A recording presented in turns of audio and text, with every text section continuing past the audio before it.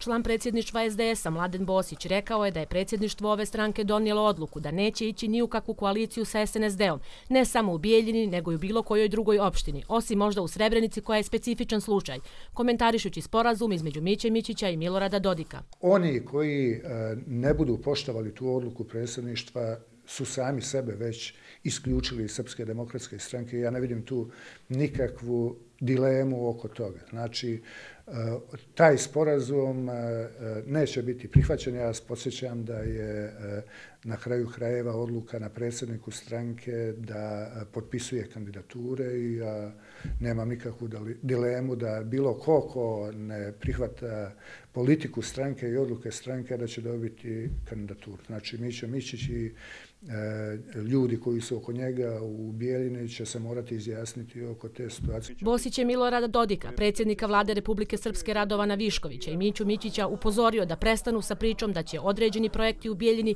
biti ili neće biti finansirani ukoliko neko bude ili ne bude na vlasti.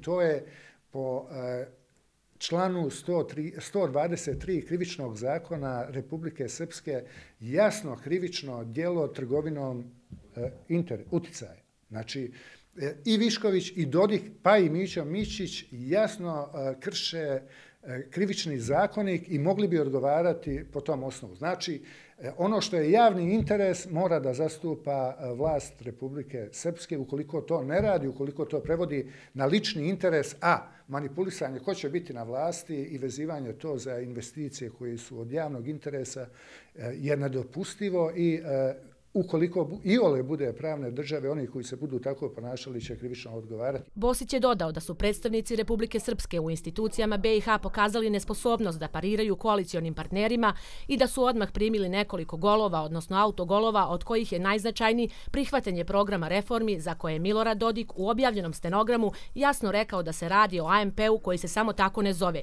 zaključio je Bosić.